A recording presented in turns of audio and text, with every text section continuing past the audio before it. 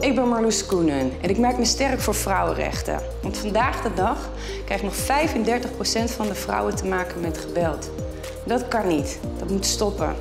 En daarom ben ik ambassadeur van ActionAid. Aankomende periode gaan we de Women's Rights Challenge doen. 35 keer opdrukken. En dat kan iedereen, ook jij. Ik help je erbij, ik trek je er doorheen, dus ik hoop dat je meedoet.